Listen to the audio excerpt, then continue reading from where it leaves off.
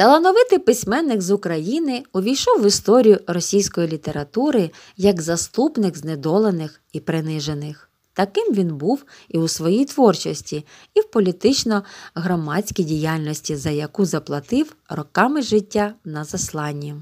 Володимир Галактіонович Короленко народився 27 липня 1853 року в Житомирі.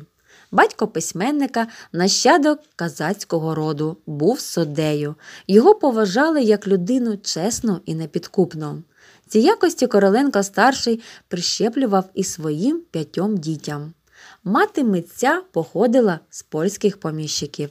Великодушна і самовіддана, вона виховувала синів і дочок передусім добрими, чуйними, порядними. Дитинство Володимира Галактіоновича минуло в Житомирі, юність у Рівному. Тоді це були невеликі затишні містечка, романтика їхніх пишних краєвидів, таємничих підземель і давніх легенд зачаровувала мрійливого голубчину. Однак саме там він пізнав і справжню гіркоту провінційної дійсності. Зашкарублий застій, що аж надто яскраво виказував вади державно-суспільного ладу Російської імперії.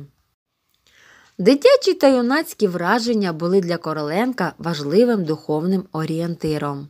Живучи в Росії, письменник завжди намагався налагодити побут за батьківськими традиціями. Спогади про Україну відлунювали і в його творах. Так, Житомирський період, який тривав 13 років, відбився в оповіданнях вночі Парадокс, моє перше знайомство з Дікенсом та чотиритомні історії мого сучасника. А повість у поганому товаристві стала яскравою літературною пам'яткою перебування Володимира Галактионовича в Рівному. На долю письменника випала чимала поневірянь.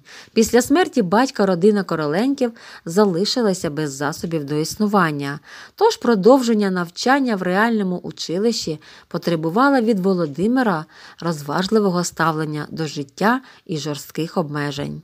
А в 1871 році він вступив до Петербурзького технологічного інституту.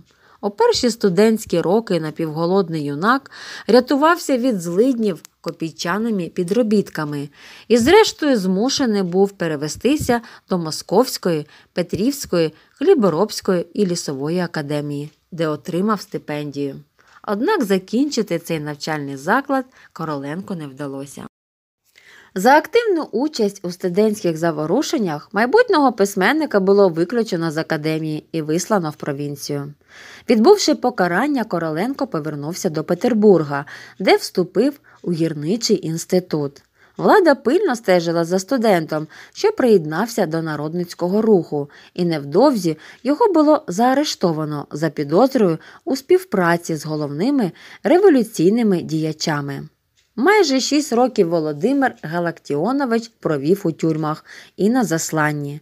Останній термін він відбував у Якутії за відмову присягнути на вірність цареві Олександру III. Утім, життєві випробування лише загартували Короленка. Навіть більше саме вони викували з нього письменника, перед яким невдовзі шанобливо схилилася Росія. У 1885 році Короленко дозволили оселитися в Нижньому Новгороді. Протягом наступних 10 років він опублікував кілька збірок, талановитих нарисів і оповідань, у яких виступав проти соціальної несправедливості і обстоював право пригноблених на гідне життя. Не менш значущою була і громадська діяльність Володимира Галактіоновича, численні статті, у яких він викривав злочини чиновників, бездушність судової машини і подібні суспільні явища незмінно привертали увагу широкого загалу. Згодом його публікації набули такої впливовості, що з ними мусив рахуватися навіть царський уряд. У 1890-х роках письменник відвідав Крим і Поволжя, подорожував Кавказом і Південним Уралом.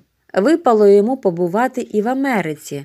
Враження від тієї поїздки втілилися в повісті без язика. де змальовано понівірення українського селянина, що марно намагається знайти кращу долю на чужині. Громадській діяльності письменник віддавав майже весь свій час. Друзі говорили, що він міг би написати значно більше художніх творів, якби не витрачав тільки сил на суспільні справи. Короленко не заперечував, але і ніколи не шкодував про свій вибір, адже інтереси громади ставив вище за власну творчість. Так було і за царського правління, і за більшовицького уряду. Короленко рішуче засуджував насильницькі методи нової влади і братовбивчу війну, яка коштувала народові багатьох жертв. У 1901 році Короленко повернувся на батьківщину. Він оселився на Полтавщині, де і прожив до кінця своїх днів.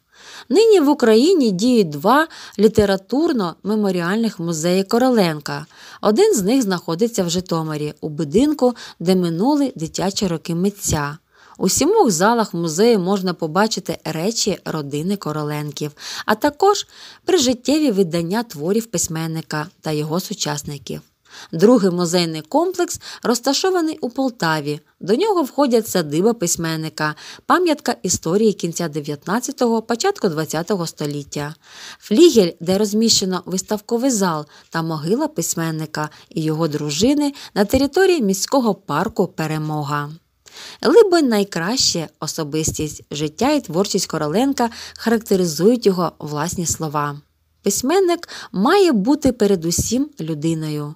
За активну громадянську позицію, відданість ідеалам, справедливості і людяність сучасники називали митця совістю Росії.